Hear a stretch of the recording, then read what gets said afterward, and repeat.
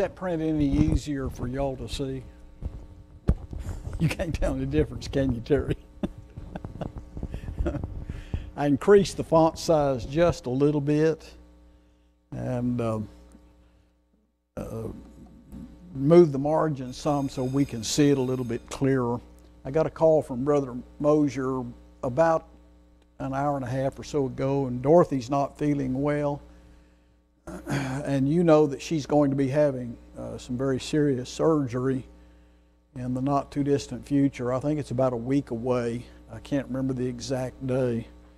And um, we need to keep them in our prayers. It's, um, um, it's, it's, well, it's very serious surgery. So keep her in your prayers. And then she'll go, she'll come behind that with another surgery after that one heals to um, deal with the cancer problem that she has. So keep both of them in your prayers and their family. I know they would appreciate it.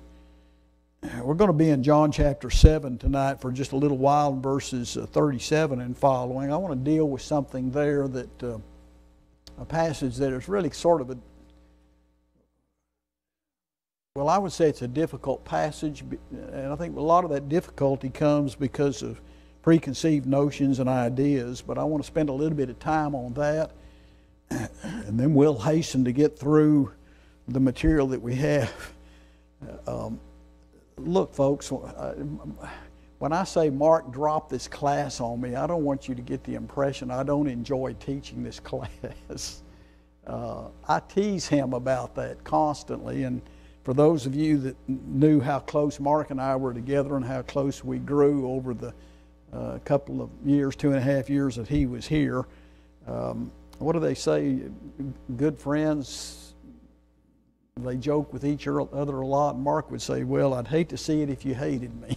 so, but I love the man, and, and I, I count it an honor to be able to fill in any way that I can. So don't don't take that in the spirit in which it's given, would you? And don't don't be spreading vicious rumors. Let's bow to prayer on behalf, particularly the Mosiers, before we start. Heavenly Father, we're so grateful for your care for us and your concern about us. And we don't understand why you love us so much, but we're especially grateful for the privilege we have of interceding for our brothers and sisters in Christ. And tonight we, we pray especially for Keith and Dorothy and their family as Dorothy is about to face some very serious surgery.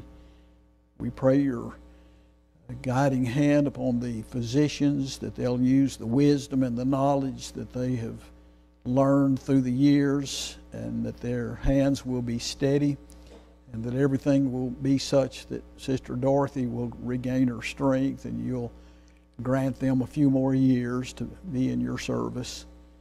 We pray for all of those in the congregation who are suffering with illnesses uh, that your healing hand would be upon them. We pray for those who are suffering loss of loved ones, that you would comfort them and that you would use us as instruments in your hand to make sure others are doing well and to cheer them up and to encourage them as all of us travel together for that eternal home that awaits us. Pray that you'll be with us in our class tonight. Bless all the classes, the teachers, and may we study your word with the determination that we will apply these things to our life and live according to thy will. In Christ's name we pray. Amen. I want to focus on John 7. This is the last section down here, and this, this is still the Galilean ministry, and we're bringing this to a close. And one of the things I pointed out last week is that as Jesus moved toward Jerusalem in the Judean ministry, you remember that his brothers and his sisters, his family, wanted him to go up to Jerusalem and make himself known, manifest yourself, do signs, and show them that you are the Messiah. But really, that desire on their part was another form of the same temptation that Satan used when he said to Jesus, Cast yourself off the pinnacle, prove, your, prove to the people who you are, show a great sign. And uh, so Jesus told his family and his, his brothers that he would not go up to, to the feast at that time.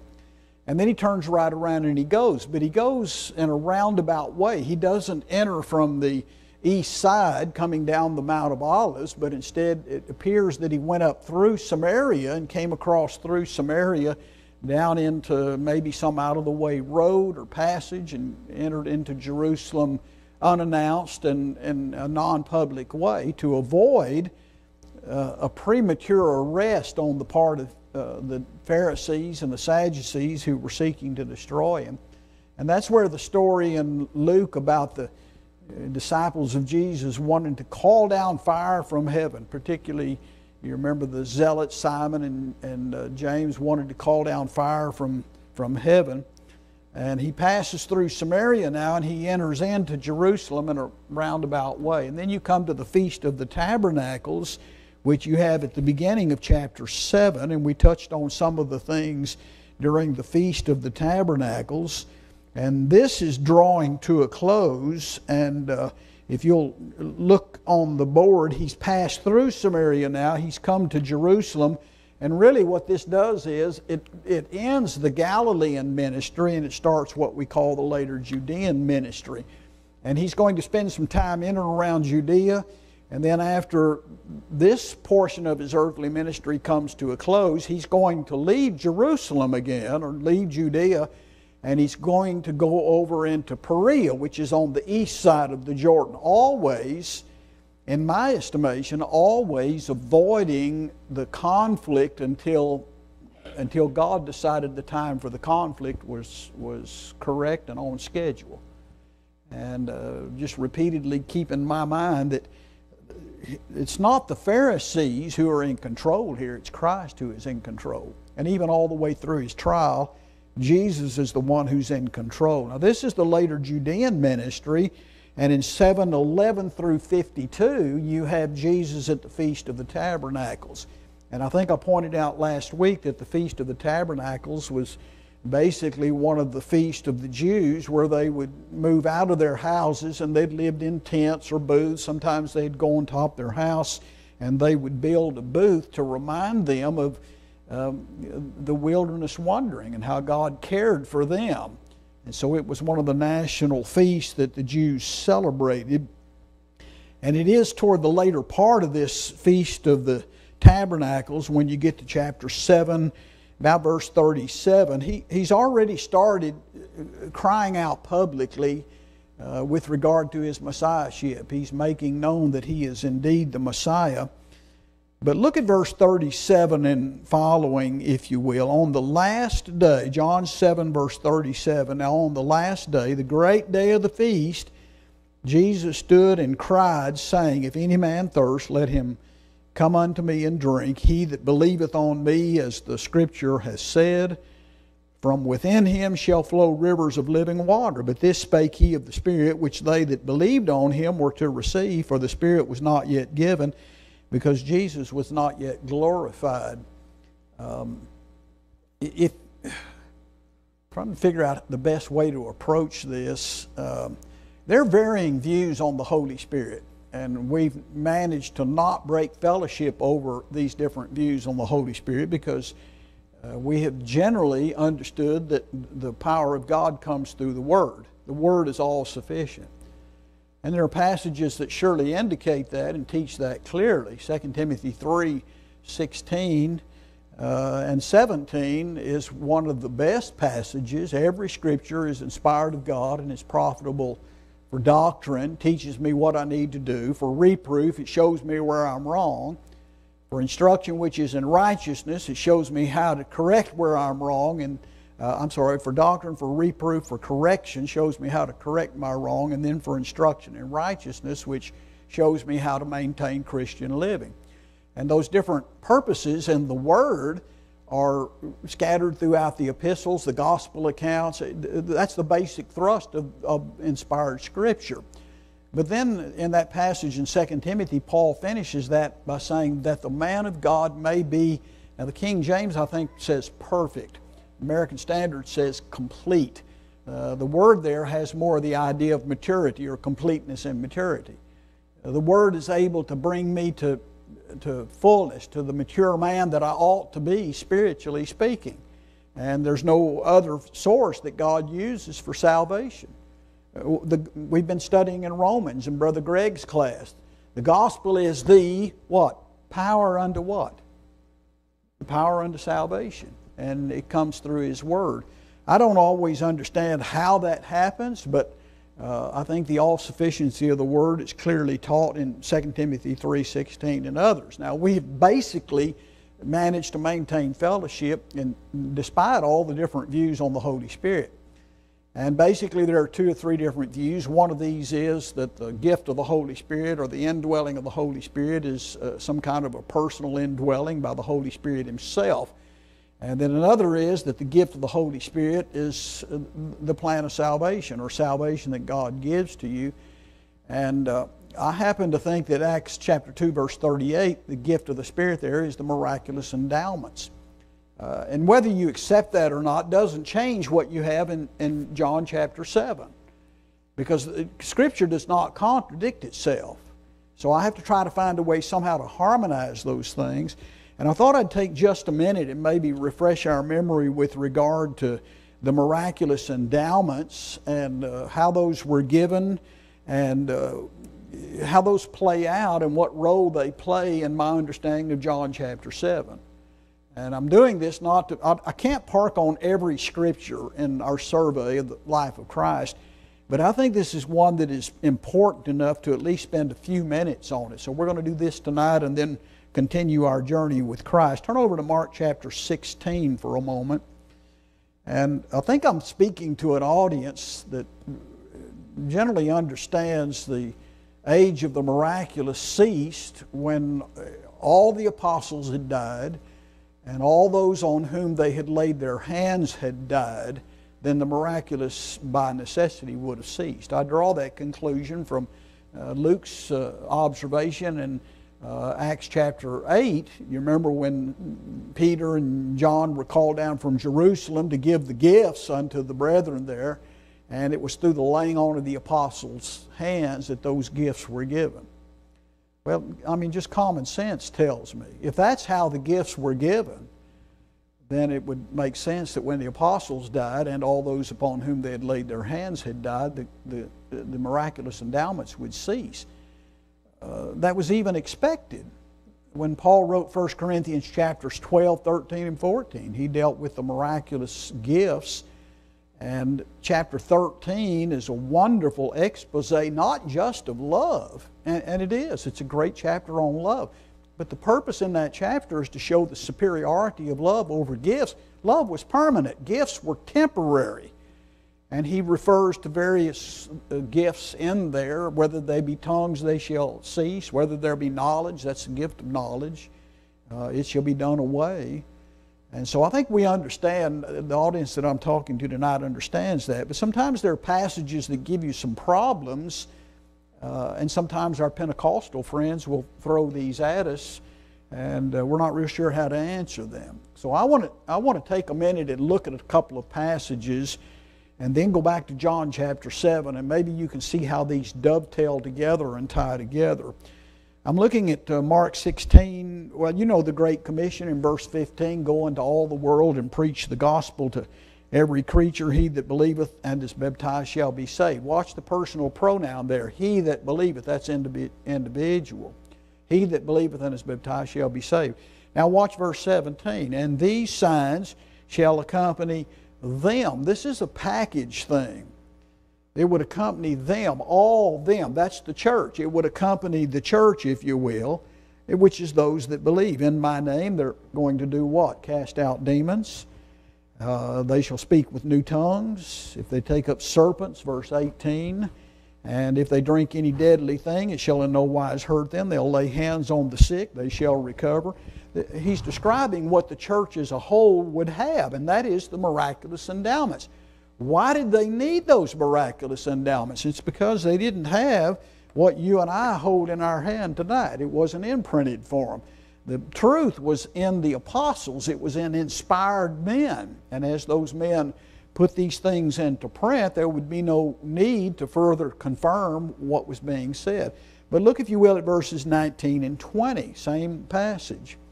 So then the Lord Jesus, after he had spoken unto them, was received up into heaven sat down at the right hand of God, and they, that is the church, went forth uh, and preached everywhere, the Lord working with them, with the church, and confirming the word by the signs that followed. And we, we don't have any difficulty with that because we understand that this is the church as a whole. What is conspicuously absent in Mark 16 is any references to how the miraculous endowments were given or how long those endowments were to last. So be careful when you're studying Mark 16 that you don't read into this passage something that's not there. Our Pentecostal friends will tell you, you see, this, the miraculous was designed for everybody, every individual throughout the age of the church. But you can't find that in Mark 16. See how Scripture harmonizes together? Let me show you another one that is often used. Turn over to Acts chapter 5. And you have to remember that uh, you're looking at the church that is that came into existence and in the first century the lives of all these and that we're reading about here was in the backdrop of the miraculous endowments that's the way they would have understood references to the holy spirit now when you get to acts chapter 5 and verse 28 and following you remember the apostles were well, look at verse 28, saying, We strictly charge you not to teach in the name, and behold, you fill Jerusalem with your teaching and intend to bring this man's blood upon us. let me pause right there.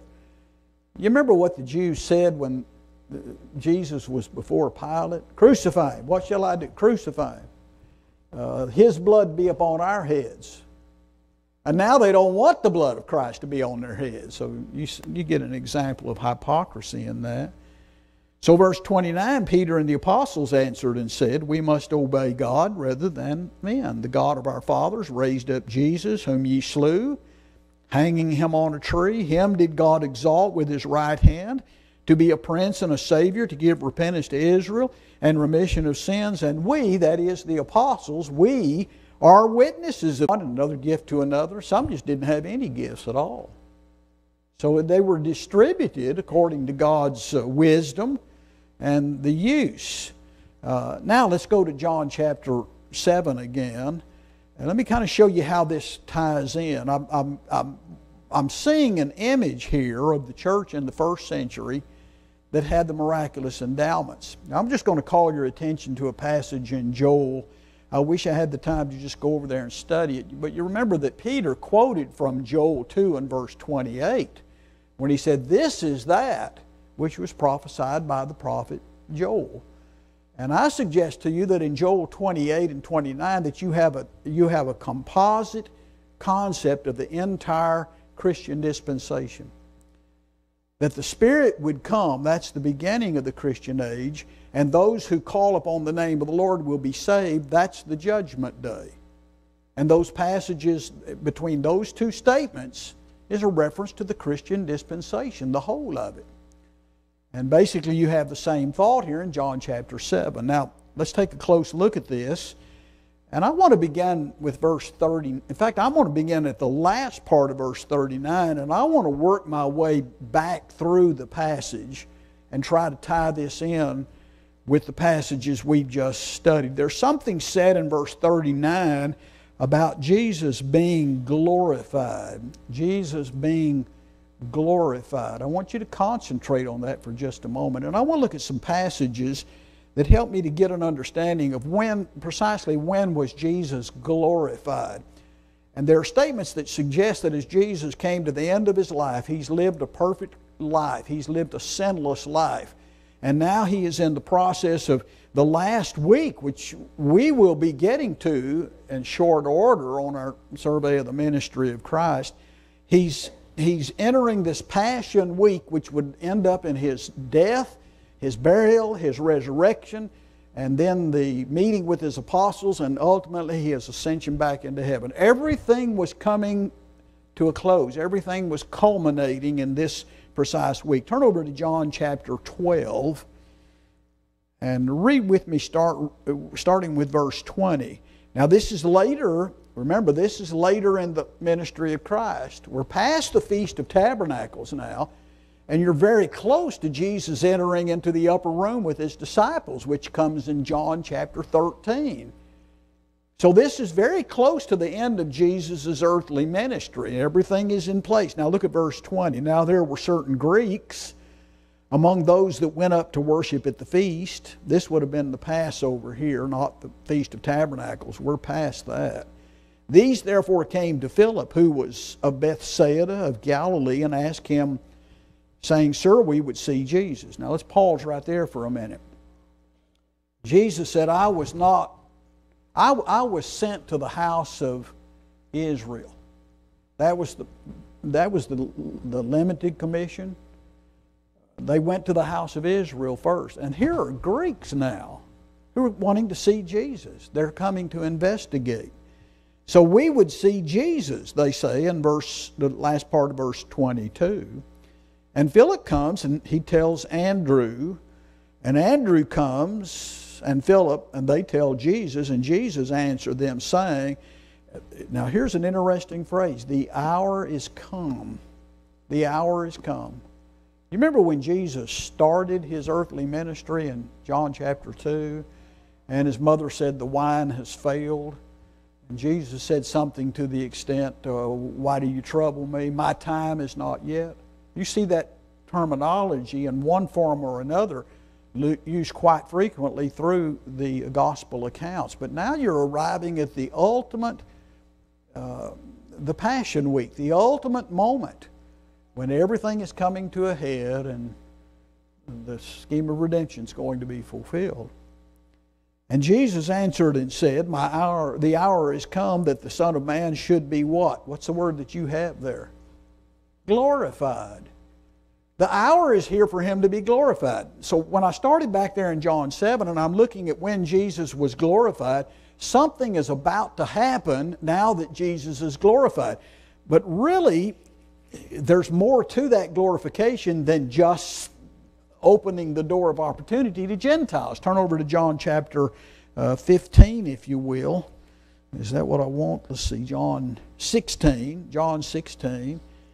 And I want to start with verse uh, 7 and just read with me a little bit. Nevertheless, I tell you the truth. It is expedient for you that I go away. He's with his disciples, and he's telling them about his departure. It's expedient for you that I go away. For if I do not, for if I go not away, the Comforter will not come unto you. But if I go, I will send him unto you. I think we I mean, I'm speaking to an audience that understands this is the coming of the Holy Spirit, the Comforter that would be sent. Verse 8 And he, when he is come, will convict the world in respect of sin and righteousness and of judgment. Of sin, because they believe not on me. Of righteousness, because I go to the Father, and you behold me no more. Of judgment, because the prince of the world has been judged. And I have yet many things to say unto you, but you cannot bear them now. Howbeit, when He, the Spirit, is come, pay close attention to the next two or three verses. When He, the Spirit of truth, is come, He shall guide you into all truth. For He shall not speak from Himself, but what things soever He shall hear, these shall He speak, and He shall declare unto you the things that are come. He shall do what? He shall glorify me. The glorification of Jesus began when He entered into those last few days upon this earth and it extended beyond his death, his burial, and his resurrection into the miraculous age in which the Holy Spirit was leading them into all truth and glorifying Christ. Now, once the Word is given, how do we glorify Christ today? We preach the Word, do we not? We uphold Him, we lift Him up, we glorify Him. But in these passages that we're looking at, there is a, there's a time frame here that encompasses the final week, the Passion Week, all the way through his resurrection, into his ascension, and the revelation of the full gospel starting in Acts 2 on the day of Pentecost and encompassing the divine revelation and the recording of that revelation and ultimately putting it into print. Okay, Brother Epifanio, you following me so far? Okay, if you can follow me, anybody can, all right? now let's go back to John chapter 7. Remember, I said we're starting at the back and going forward. So he's making this statement in the last part of verse 39 Jesus was not yet glorified. Now let's read the rest of 39. But this spake he. We're going to talk about what he spoke about in just a moment. This spake he of the Spirit, which they that believed on him were to receive. Here's this encompassing pronoun they.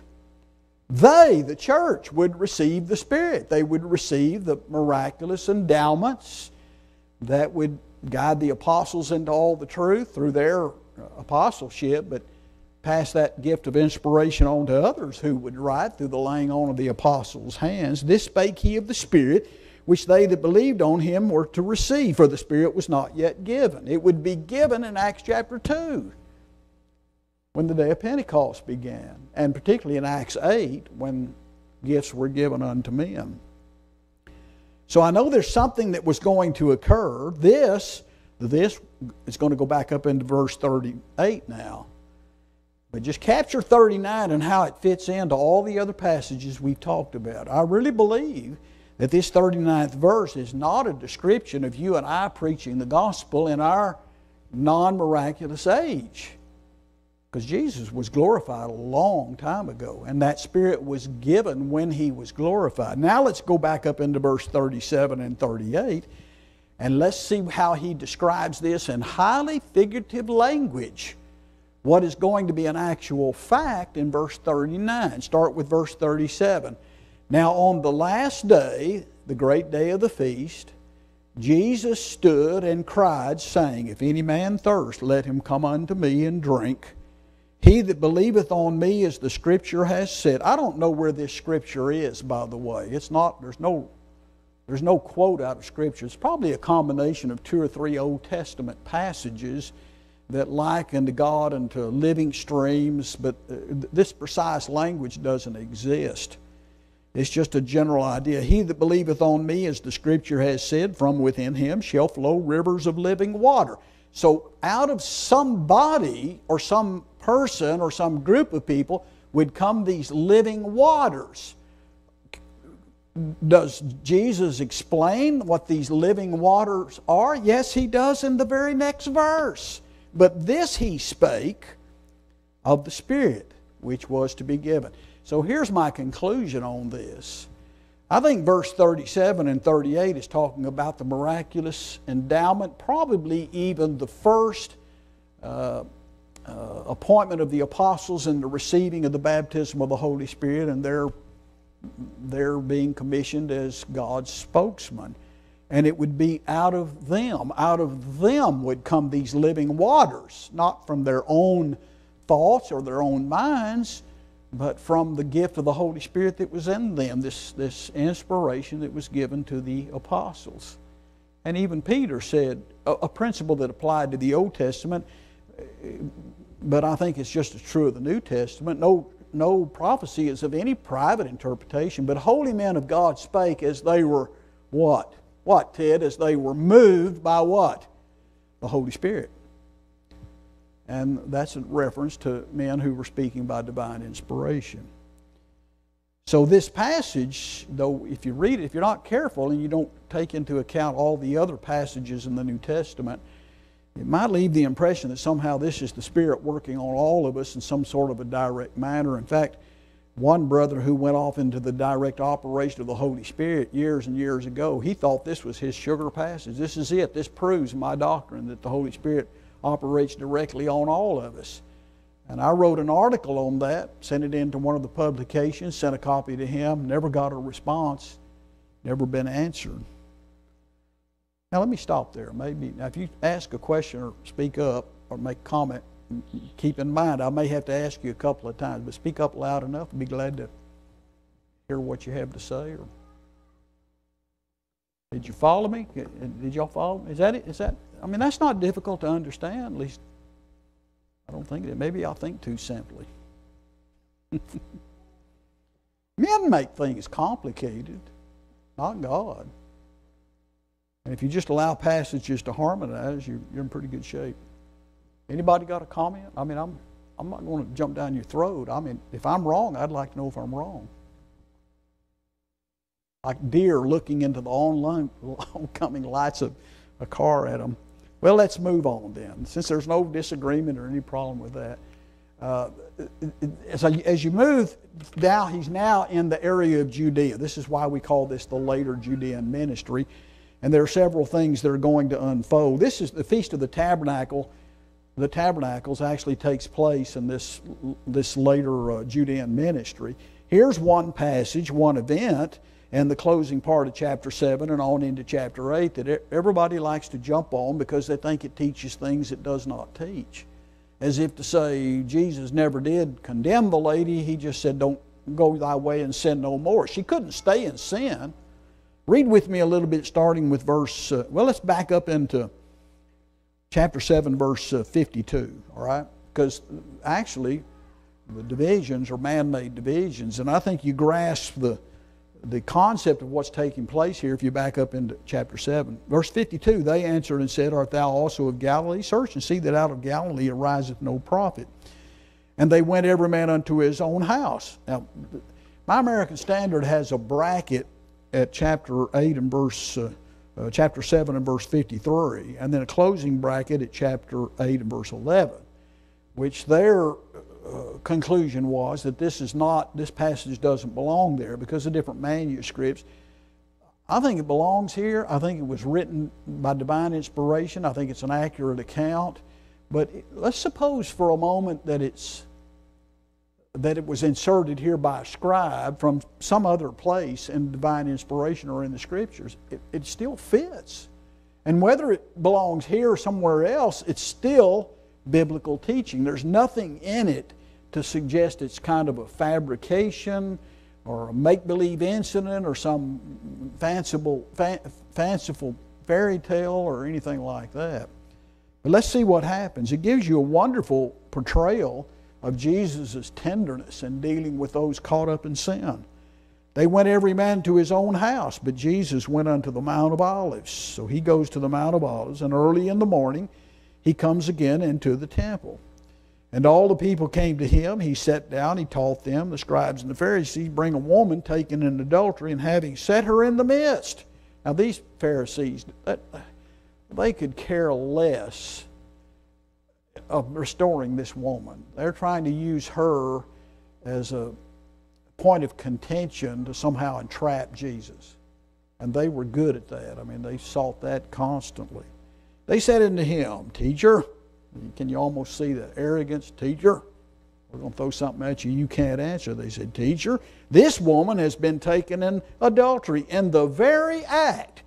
Let me stop there. What strikes you about this whole incident if she was caught in the very act? Where was the man? If she's caught in the very act, where was the man? So already you know they have no intention of exercising, you know, the Mosaic law and what it said about being in, in adultery. Now in the law Moses commanded us to stone such. What then sayest thou of her?